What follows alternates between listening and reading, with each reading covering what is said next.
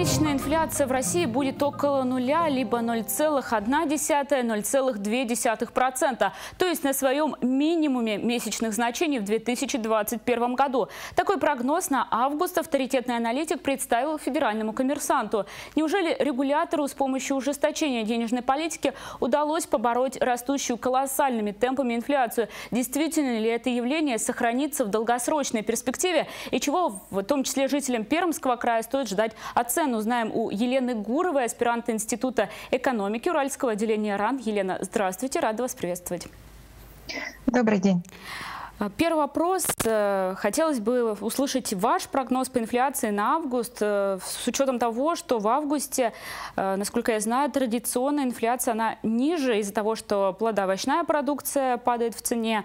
Ну и плюс не стоит забывать о том, что ЦБ все-таки действительно ужесточает денежную политику. Вот многие эксперты говорят о нулевых значениях роста инфляции. Вы вот с этим согласны? А, думаю, в общем и целом, да. С учетом традиционных сезонных особенностей действительно можно ожидать более низкую инфляцию на август. Однако думается, что следует учитывать и по-прежнему высокие инфляционные ожидания населения, это отмечает и Центробанк Российской Федерации, и выплаты к началу учебного года, и отмечаемый рост волны коронавирусной инфекции. Вот э, все-таки стоит учитывать, что наш гражданин привык ориентироваться в большей степени не столько на прогнозы ученых, экспертов, а все-таки на имевшие место быть ситуации, то есть на свои ожидания на будущую инфляцию, а, то есть на те ситуации, в которые попадал. И на этой основе уже моделируется потребительское видение ситуации, ориентация, соответственно, на какие-то акционные предложения, на формирование запасов, на необходимость закупок. И вот э, учитывая все вот это, стоит, наверное, прогнозировать инфляцию на август в интервале 0,2 0,4, наверное, процентных пункта. Угу. А дальше эта ситуация, она э, будет продолжаться, вот такая вот низкая инфляция, или же после сезонного спада все вернется на круги своя? Подозреваю, что рост еще будет. А, во всяком случае, во всяком случае, предыдущие месяцы об этом говорят. Но, с другой стороны, нужно учитывать, что Центробанк резко ужесточает э, политику, денежно-кредитную политику. А ужесточение монетарной политики, оно в любом случае приведет, скажем так, э, к задушению инфляции. Другое дело, что э, вот этот момент, он несет в себе как плюсы, так и минусы.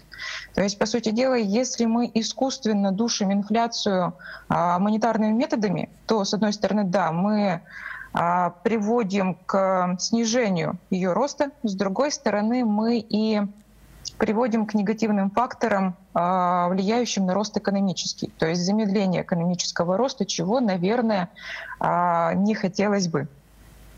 Ну вот госпожа Набиулина, она также заявляла, что мы начали таргетировать инфляцию позже, чем многие другие. Вот чем это чревато, да, что достаточно поздно стали принимать? Я думаю, что я думаю, что это чревато тем, что мы сталкиваемся с рядом проблем, которые были вовремя не учтены. И потом стоит еще учитывать такой момент. Не первый год, далеко не первый, говорится о том, что а, ожидания, инфляционные ожидания населения, они, как правило, в несколько раз выше, нежели ожидания Центробанка и а, ключевая ставка. Соответственно, как даже отмечал один из представителей Центробанка, в том числе приезжавший к нам в Пермь, это нивелирует политику Центробанка. То есть, по сути дела, это создает дополнительные проблемы а, в борьбе с инфляцией и, соответственно, с формированием необходимого уровня экономики, стабильности и так далее. Может быть, э, у вашего учебного заведения есть некоторые данные, чего нам ожидать? Повышение опять цен на какие категории, виды товаров, может быть, уже есть такие какие-то прогнозы? Думаю, лично я не буду спешить с этими прогнозами. А у меня таких данных нет. Вот еще немного э, хотелось бы, да, про те последствия. Вы сказали, что это может вызвать, скажем так, ажиотажный спрос. Люди начнут скупать товары, как это было уже вот в начале пандемии, гречка и так далее. А, опять угу. же, из-за этого, скорее всего, и ценник будет повышаться, и сам бизнес угу. также э, с его стороны будут какие-то некоторые повышения цен. Да, думаю, да. Ну, еще раз повторюсь, э, все-таки человек привык ориентироваться на уже прошедшие ситуации. То есть за счет этого моделируется потребительское поведение.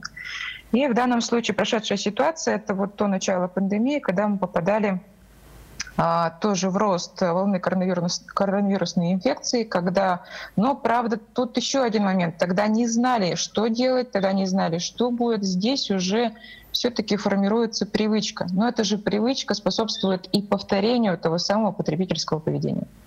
Угу. Спасибо вам огромное. Елена Гурова, аспирант Института экономики Уральского отделения РАН на связи с РБК Пермь. Мы обсуждали, мы, поможет ли снижение цен на плодоовощную продукцию, выплаты к школе побороть инфляцию.